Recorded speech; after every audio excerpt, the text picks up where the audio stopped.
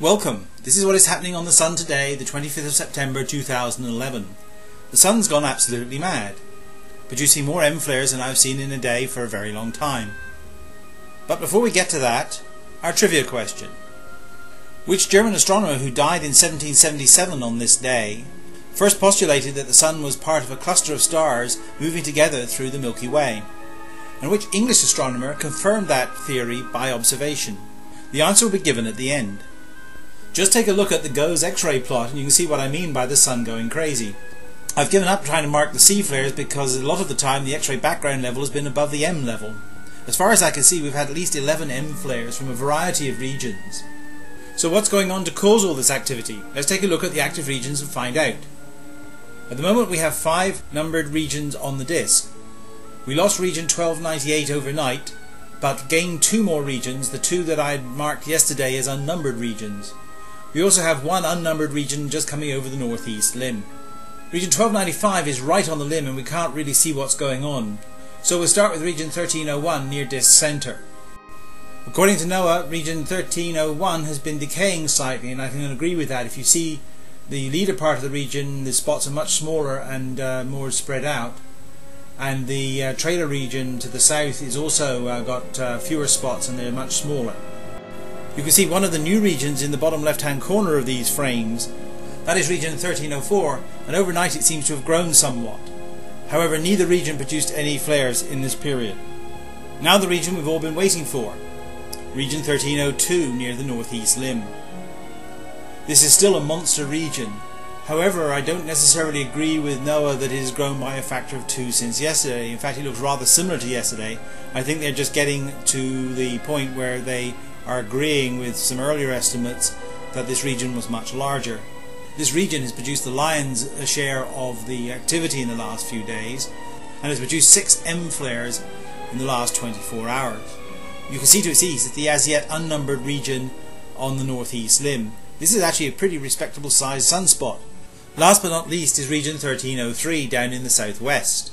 As it has approached the southwest limb, it has grown remarkably quickly and I don't necessarily believe the area of just 30 millionths that NOAA assigns to it.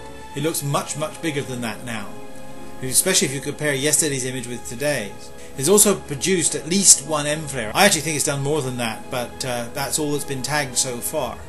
It's a pity we're going to be losing this region because I think it's going to be quite a spectacular uh, uh, flare producer in a few days' time. So all in all, solar activity has been very high for the last few days, and I expect it to remain relatively high despite the fact we're losing 1295 and 1303 over the west limb. Now let's take a look at the continuous evolution of these regions using the sunspot and magnetic data from the HMI instrument on the Solar Dynamics Observatory. And here I would concentrate on the development of region 1303 down in the southwest. It certainly looks like an interesting region and I suspect we'll get some coronal mass ejections from it over the west limb in the coming days. Instead of the usual full disc um, transition region and coronal movies, I decided to make uh, movies of individual active regions, seeing as they're so active. So we'll start with region 1295 in the northwest. Watch for the inflow of material from uh, some sort of um, prominence eruption to the south into this region. There then follows a rather bright little flare, and right at the very end, a jet.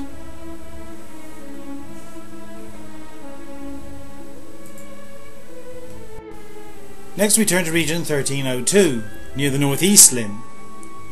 Here I'd like you to keep an eye on the number of eruptions that occur from this region to the south and east uh, after each flare. These are probably signatures of coronal mass ejections being launched into the outer corona.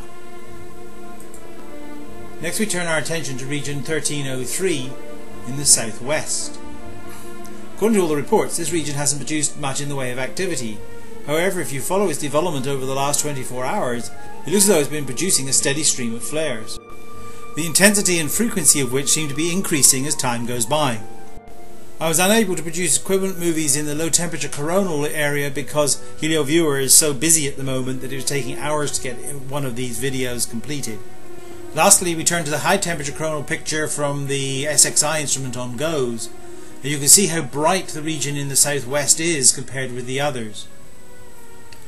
We also have new regions coming over the northeast and the southeast limb.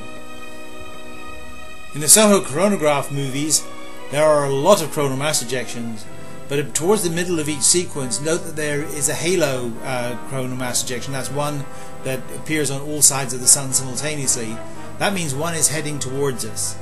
So uh, we should uh, keep an eye out in the next couple of days for a coronal mass ejection hitting the Earth's magnetosphere.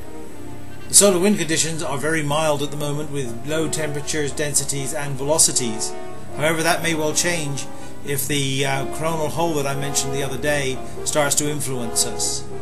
The high energy electron flux remains relatively stable and we're still in a very extended proton event and those with sharp eyes might have noticed there's a little bit more of that snow pattern on some of the images that I've shown uh, to date and that's evidence of the protons uh, getting into the Earth's environment. The auroral zone remains very quiet and the KP index is only varying between 0 and 2 although that's a little bit higher than it was yesterday.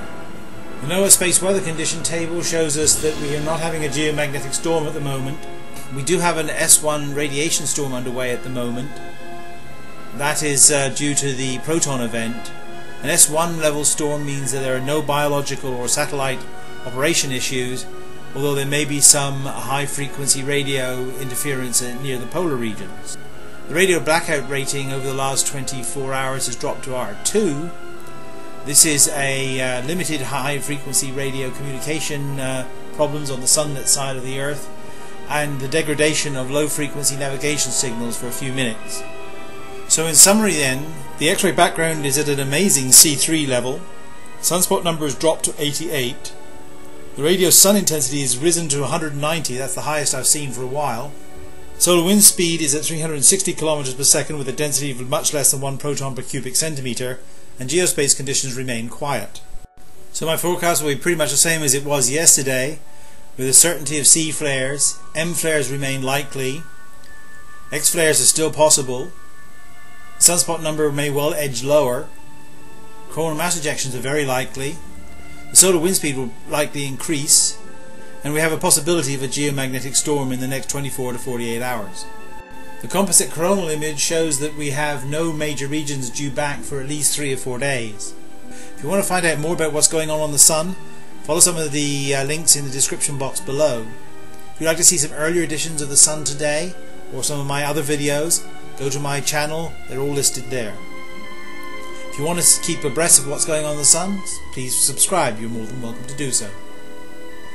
The answer to the trivia question the German astronomer that uh, postulated that the Sun was part of a cluster of stars moving through the Milky Way together was Johann Heinrich Lambert, and the English astronomer that confirmed that uh, hypothesis by observation was Sir William Herschel.